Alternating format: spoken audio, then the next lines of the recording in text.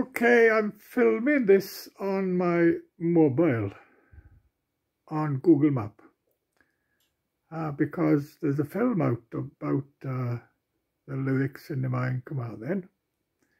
Uh, a few of my friends in Pontyates have been telling me about it and uh, my brother has sent me the clip. I've started seeing it and it's really good. It's very interesting. Uh, it's nice to see Carmarthen uh, being popular in a, in a little movie. Uh, and what I like about uh, the film showing you Carmarthen and, and all about the lyric cinema uh, is that uh, this cinema was where I had my first ever date.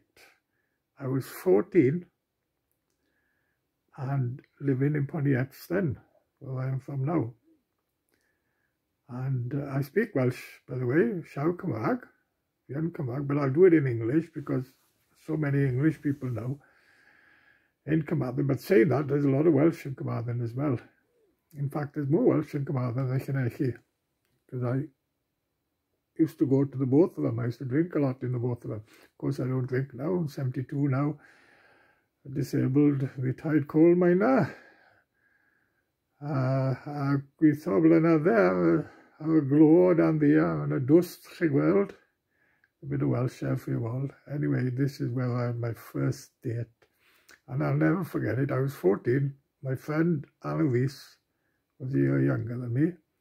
And it was a blind date.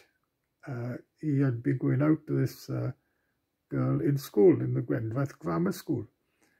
And he fixed me up with a friend. And I got to say, uh, she was absolutely beautiful. She was a year younger than me. Uh, she was 13, Aloise was 13, the girl he had was 13. And in we went to the cinema, but it was so dark. And I remember giving my first kiss, my first date. I'll never forget it. And I, I put my arm around her at first and uh, she wasn't saying much. She was a very quiet, shy girl, and I went to kiss her, and I kissed her on, my, on the nose. Would you believe it?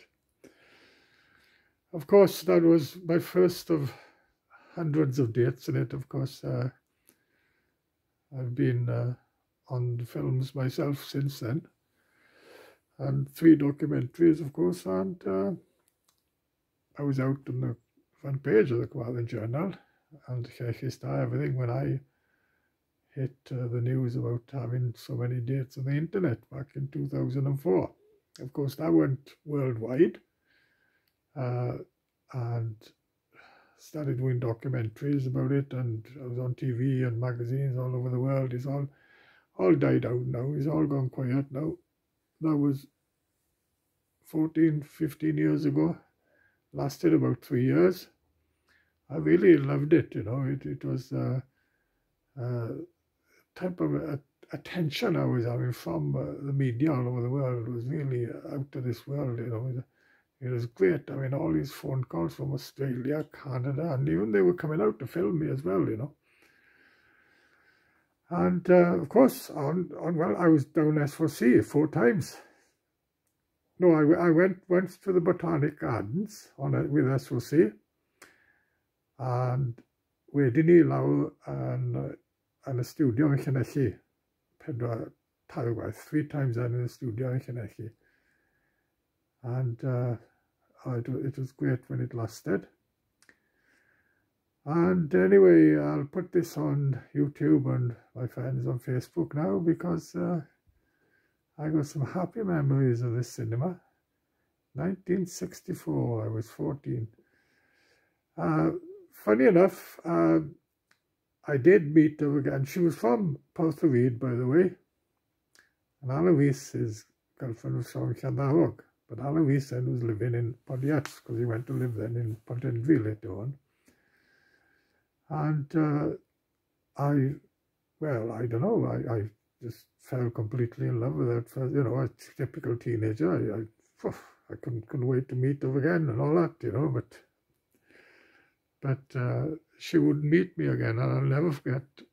I was heartbroken for the first time one of many, many heartbreaking moments for me in my life. And that was one of the first times. Uh, she went on to be a teacher in Maes, Maes yr Yrfa, uh, teaching in Welsh. And uh, she's retired now. I don't think she ever did marry. Uh, funny enough, she was teaching my children in Maes yr Yrfa. Uh, but I never told my children that I'd been, you know, been out to the teacher and fell in love with her at the age of 14. Yeah, it was magic moments at the time. Can you imagine if I had gone out with her again and I had stayed with her, I wouldn't have had this uh, life I had, you know, because of course I got books out, I got four books out. And I'd like to do a book in Welsh if I could. Okay,